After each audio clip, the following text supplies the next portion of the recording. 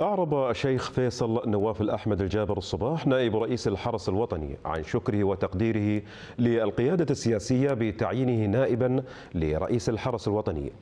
وقد أكد نائب رئيس الحرس الوطني خلال لقائه مع وكيل الحرس الوطني الفريق الركن مهندس هاشم عبد الرزاق الرفاعي وكبار القادة والضباط أكد على ضرورة التعاون والتنسيق بين قطاعات الحرس بلوغا لمستويات راقية في الأداء من أجل القيام بالواجب الوطني بكل كفاءة واقتدار.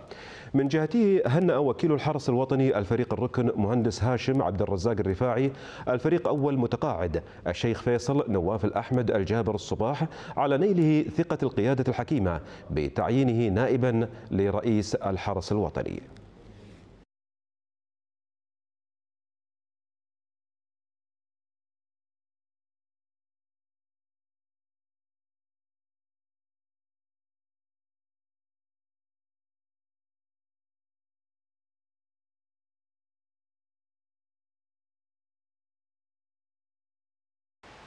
يطيب لي أن أعرب عن جزير شكري وبالغ تقديري للقيادة السياسية على الثقة القالية بتعييني نائبا لرئيس الحرس الوطني.